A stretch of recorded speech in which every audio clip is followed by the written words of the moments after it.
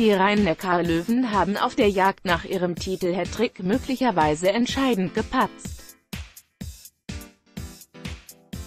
Das Team von Trainer Nikolai Jacobsen unterlag MT Melsungen in eigener Halle überraschend mit 23.24 Uhr, 15.13 Uhr und braucht für die dritte Meisterschaft in Folge nun ein Handballwunder. Mit 51 zu 13 Punkten liegt der Titelverteidiger zwei Spieltage vor Saisonende hinter Spitzenreiter SG Flensburg-Handewitt 52 zu 12 nur auf dem zweiten Platz. Wir sind natürlich riesig enttäuscht.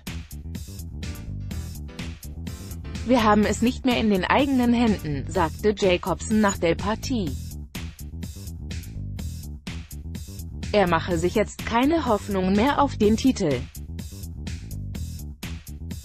Oliver Rogisch, der sportliche Leiter der Löwen, sagte, es tut unfassbar weh, aber schon übermorgen müssen wir wieder nach vorne schauen. Wir wollen jetzt Platz 2 sichern und damit die Qualifikation zur Champions League. Die Löwen taten sich vier Tage nach dem 25 zu 25 Patzer in Erlangen erneut äußerst schwer. Nach 44 Minuten führten die Gastgeber in Mannheim zwar noch mit 21.18 Uhr, ehe sich ein echter Krimi entwickelte. Lasse Mickelson traf 72 Sekunden vor Schluss zur Führung der Gäste, die Löwen hatten keine Antwort mehr parat. Zurück im Meisterrennen sind somit auch die Füchse Berlin, die durch ein 26 zu 20, 13.12 Uhr gegen Abstiegskandidat TUSN Lübbecke nun punktgleich mit den Löwen auf Rang 3 liegen.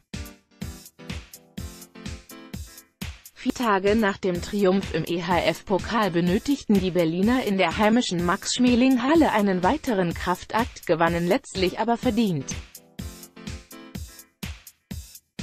Der Tabellenvierte SC Magdeburg 48 zu 18 verlor dagegen durch ein 29 zu 31 14.15 Uhr beim HC Erlangen den Anschluss.